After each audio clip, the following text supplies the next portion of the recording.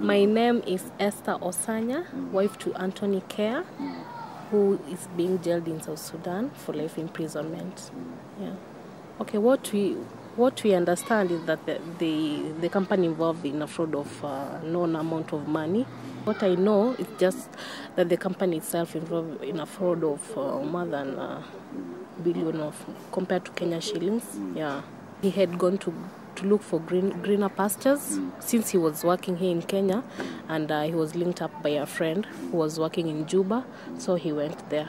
The last time he saw his son, he was uh, 10 months. Right now, my son is 2 years, 9 months.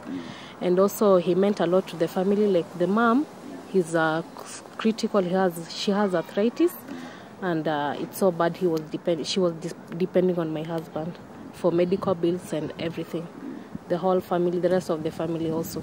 Financially, I can't say that I'm stable since, okay, I got a job, but it's not that well paying. But I'm really struggling. It's not that easy. Okay, so far we've really tried. We've tried a lot. We've held demonstrations since last year, but uh, we've not gotten anything from the government of Kenya. They always just say that, okay, they're making up, they're trying, but we've not seen anything upcoming so far so we've not gotten anything any assistance. We've gone to the office of the president many times ministry of foreign affairs but we've not gotten anything concrete. Even the government itself know, knows that these kenyans are very innocent. They don't have anything to do with the case but okay we are not even sympathizing. We just want them back home. Yeah if they really care about their citizen let them bring them back. Okay, first of all, I mean, Mohamed has really let us down. Yeah, many times.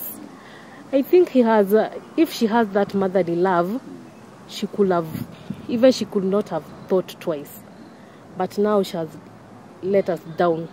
And uh, for the president, please, please, if you have a son, I know you have two, just put yourself in our shoe and bring our boys home. Yeah, that is my appeal.